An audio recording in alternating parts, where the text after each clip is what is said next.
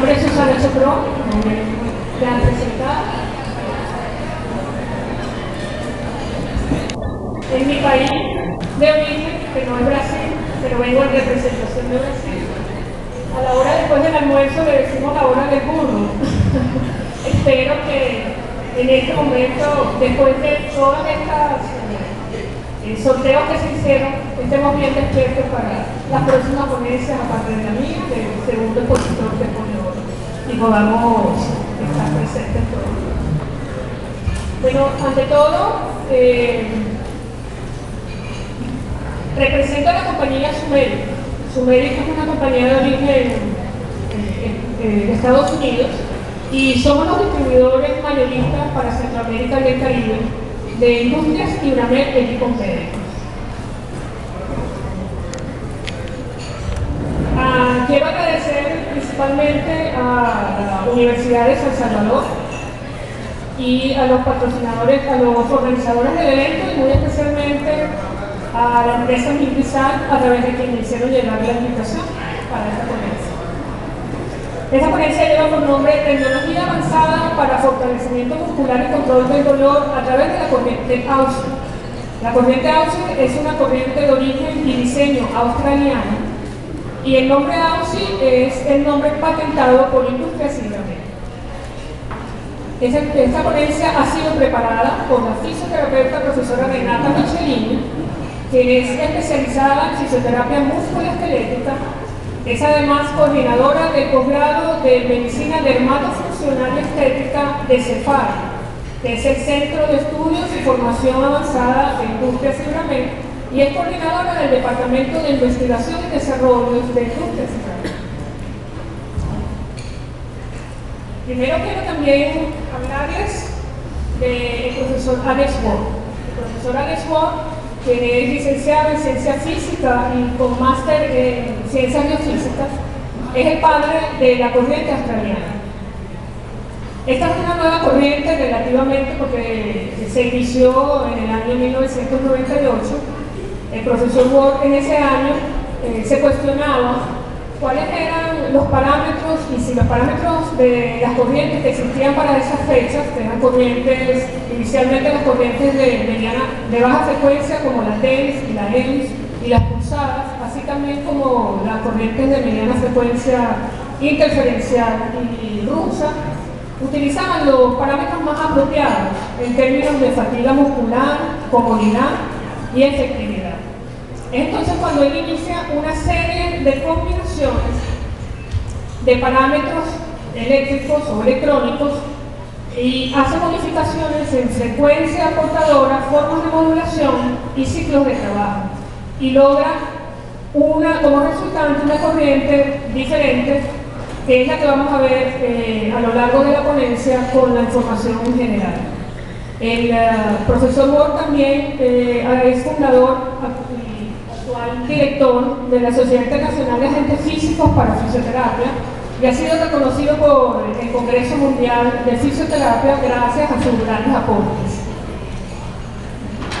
Antes de comenzar, quiero dar un breve repaso, un resumen, realmente esto es información que ustedes poseen.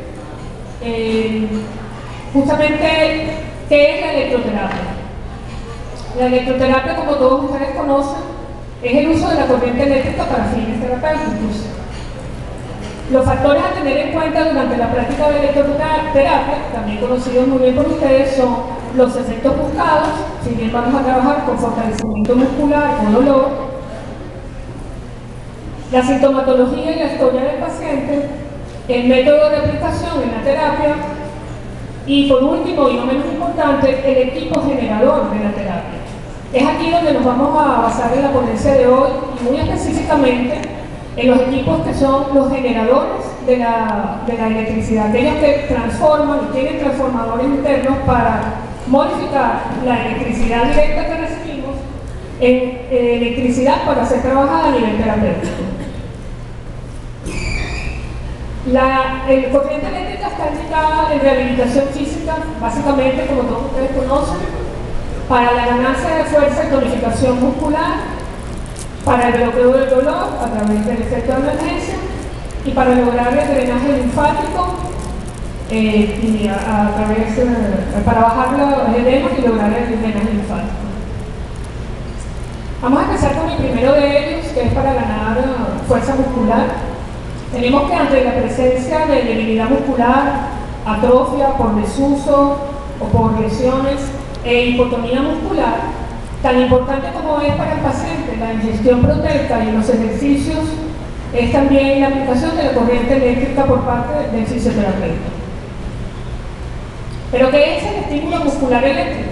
Como ustedes bien conocen, es el paso de la corriente eléctrica hacia la placa motora terminal, en donde se genera una respuesta motora de parte de la unión neuromuscular, formada por axón motor y fibra muscular. ¿Cómo se genera esta respuesta motora? Se, genera gracias al agrupamiento anatómico de las fibras musculares que están conectadas a ese axón motor Aproximadamente, dependiendo de los grupos musculares, se puede trabajar hasta 200 fibras en el momento de la estimulación. En la fibra muscular sucede un proceso de intercambio bioquímico y eso produce la contracción. La contracción muscular a través de corriente eléctrica, conocida, es, tiene sus beneficios en comparación con la contracción voluntaria, ya que en la contracción voluntaria tenemos un reclutamiento de unidades motoras entre un 30 a un 90% y ocurre de forma no sincronizada. En el caso de la electroestimulación neuromuscular, tenemos un reclutamiento de unidades motoras que ocurre de forma sincronizada en un 100%. Uno de los efectos fisiológicos que tiene el uso de la corriente eléctrica para la fisioterapia. Luego tenemos el segundo efecto fisiológico que tiene el uso de la corriente eléctrica, que es el bloqueo del dolor. Como todos ustedes conocen, una de las teorías eh, más revolucionarias para explicar el bloqueo del dolor es la teoría de la compuerta, expuesta en el año 1965 por Bensac y Wall. Eh, esta teoría básicamente eh, tiene la información de que a la presencia de la señal del dolor tenemos las fibras mielínicas y las fibras amielínicas. Las fibras mielínicas son las encargadas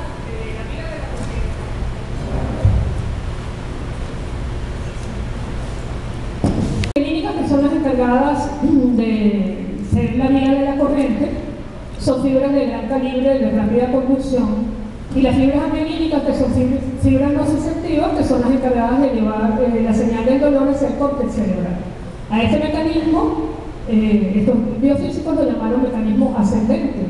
Luego pasamos al mecanismo descendente, en el que, gracias a la estimulación que logra la corriente eléctrica, existe la, el fenómeno de liberación de beta-endorfina eh, la endorfina se combina con eh, los receptores y en ese momento sucede una compuerta, una especie de compuerta que es encargada de sellar el paso del dolor hacia el, cerebro. Y pasamos ahora al tercer y último de los efectos fisiológicos que tiene la corriente eléctrica para fisioterapia, que es el drenaje linfático. La corriente eléctrica trabaja en la estimulación de los vasos linfáticos, de los músculos que están alrededor de los vasos linfáticos, y de esa manera, en, presencia de una obstrucción, permite que eh, baje la inflamación y ceda gracias a la estimulación. Quiero hablarles ahora de la corriente ósea.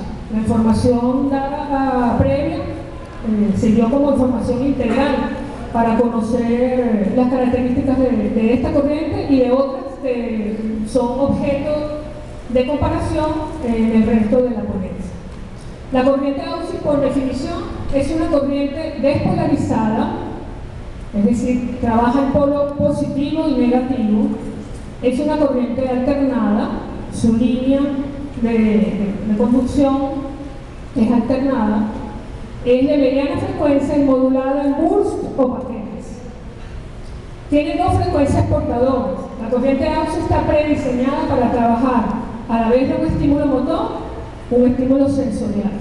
Es decir, estamos en presencia de una corriente que no es solamente para dolor o no es solamente para estimulación muscular, es una corriente que fomenta ganancia de fuerza muscular, aumento de volumen y tonicidad muscular cuando es seleccionado el parámetro preestablecido de 1 kHz. Y estamos en presencia de una corriente que trabaja estímulo sensorial, es decir, fomenta el drenaje linfático y trabaja en el bloqueo del dolor, cuando seleccionamos el parámetro preestablecido de 4 kHz. Existe una fórmula electrónica que dice que la resistencia capacitiva es inversamente proporcional a la frecuencia eléctrica, tomando para efectos fisiológicos de la resistencia capacitiva del cuerpo humano, cuando hablamos de la corriente AUX estamos en presencia de una corriente que tiene menor resistencia capacitiva, porque es de mediana frecuencia, mayor penetración y alcanza un nivel más profundo en la terapia. Es capaz inclusive de activar entre un 30 y un 40% más de fibra en comparación al ejemplo resistido que es el ejemplo de las corrientes de baja frecuencia. En ejemplos de las corrientes de baja frecuencia tenemos las corrientes que utilizan los equipos TENS, los EMS y las corrientes pulsadas de micropulsos. Eh, Ahora conozcamos cómo es, técnicamente hablando, la forma de onda de la corriente AUSI. Tiene para el fortalecimiento muscular, la corriente de tiene los siguientes parámetros preestablecidos. Tiene la frecuencia portadora de 1 kHz, que es lo que podemos ver, que es la línea de eh, la corriente, el paso de la corriente.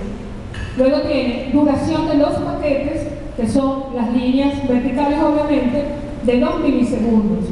Y tiene una frecuencia de modulación de burst de 50 Hz.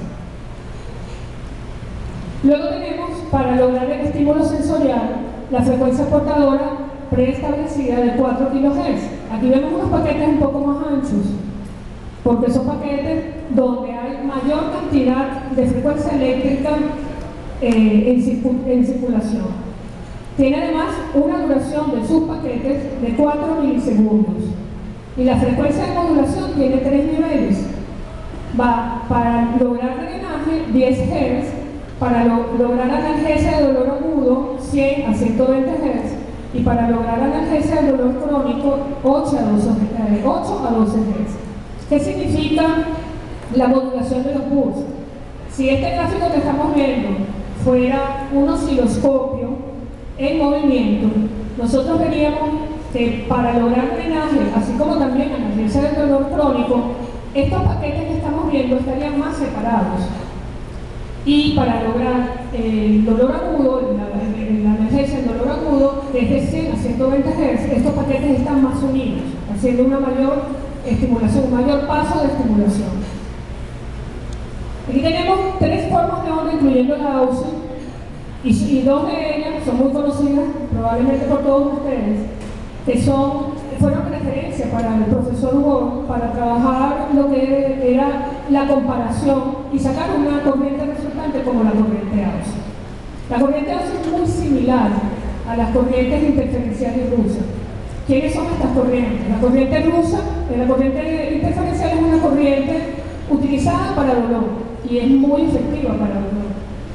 Tiene una forma de onda sinusoidal, no viene presentada en paquetes, tiene su intensidad, es también una corriente de mediana frecuencia. La corriente rusa es una corriente que trabaja para estimulación muscular, tiene una fuerza, un torque bastante óptimo y es bastante reconocida para esta área. Es una corriente que trabaja en la franja del 2.5 kHz, que es también una corriente de mediana frecuencia, y se presenta en paquetes que ya están preestablecidos con 10 milisegundos de duración.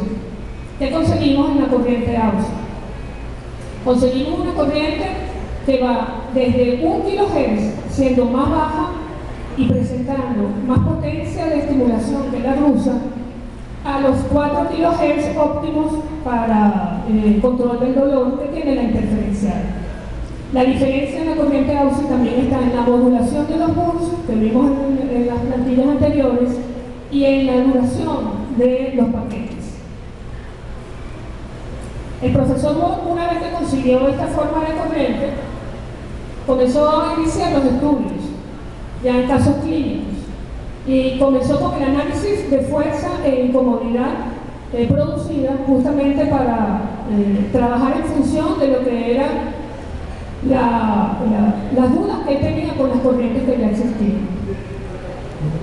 En el 2004, el profesor Wood hace un primer estudio en el que compara las corrientes pulsadas, la corriente rusa y la corriente AUSA. En este primer estudio, el profesor Wood trabaja en relación al torque muscular que se produce o que se aplica en, la, extensión de rodilla, isométrico de extensión de rodilla. Y en ese momento trabaja con la corriente AUSI y las corrientes micropulsadas de 500 y 200 micropulsos. Los resultados que dio este primer estudio en el año 2004 es que en relación al torque muscular, la corriente AUSI y las corrientes pulsadas producen un mayor torque que la corriente rusa. Y en relación a la incomodidad, la corriente rusa fue más incómoda que la corriente AUSI y las corrientes pulsadas. Luego en el año 2006 hace otro estudio en relación a la estimulación y la incomodidad en extensor de muñeca. Utiliza nuevamente las mismas cuatro funciones que la volvemos a ver aquí eh, ya graficadas. Tenemos la micropulsada de 200 micropulsos y la corriente continua eh, o eh, corriente pulsada de 500 micropulsos. Tenemos la corriente AUSI y la corriente rusa. Los parámetros preestablecidos en la corriente rusa fueron 2.5 kHz y 10 milisegundos de bus y en AUSI fueron 1 kHz y 4 milisegundos de bus. Las corrientes micropulsadas trabajaron ambas a 50 Hz de modulación. Los resultados fueron que eh, con respecto al factor de la fuerza, la corriente AUSI eh, y las corrientes pulsadas no presentaron entre sí, entre ellas, mayor diferencia. Produjeron más fuerza que la corriente rusa. Y la, eh, corriente rusa, como lo vemos en, el, la primera barra de este gráfico, fue menos, significativamente menos fuerte. Luego pasamos al factor de incomodidad, la corriente rusa y la corriente AUSI fueron, como lo vemos en el gráfico, las dos primeras corrientes significativamente menos incómodas que las corrientes pulsadas. Esto también obedece a que las corrientes rusas y la corriente AUSI son corrientes de mediana frecuencia y son un poco más suaves que las corrientes pulsadas. Para estos dos estudios, en el mismo año 2006, el profesor Ward llega a la conclusión de que la corriente rusa y la corriente AUSI producen menos incomodidad, más sin embargo la corriente rusa fue, eh, la corriente AUSI fue capaz de ejercer una mayor estimulación. Por lo tanto, llega a una conclusión para esa fecha de que la corriente AUSI es la mejor corriente para un estímulo motor confortable. Luego inicia sus estudios para el factor de control de dolor y lleva también los casos clínicos y lo compara con otras corrientes. Esas corrientes en el año 2007 lleva un primer caso clínico y eh, aplica en ese momento el parámetro predeterminado de la corriente AUSI de 4 kHz, que es para estímulo sensitivo, con 4 milisegundos de bus y duración, de duración y 50 Hz de modulación y trabaja con la corriente pulsada a 500 micropulsos. La conclusión o el resultado de este primer eh, estudio en base al dolor fue que ambas fomentaron una buena estimulación para el límite de dolor y fueron eficaces en, en el fomento de analgesia. Pero la duración corta de los buses, en 4 milisegundos, fue significativamente más cómoda. Luego lleva en el año 2009, vamos trabajando desde el año 2004 hasta el año 2009 en lo que respecta a los estudios clínicos. Lleva, otro estudio, en esa metodología se trabaja también con muñecas y eh, trabaja primero con una terapia de contraste de calor y frío y trabaja nuevamente, pero en este caso la corriente AUSE igualmente a 4 kHz de frecuencia portadora y 4 milisegundos de duración de bus TENS a 125 microsegundos y 50 Hz. Los resultados fueron que ambos presentaron eh, efectos fisiológicos para la analgesia eh, óptimos, sin embargo la corriente rusa, que la corriente AUSI fue menos incómoda eh, gracias a la duración de los muros.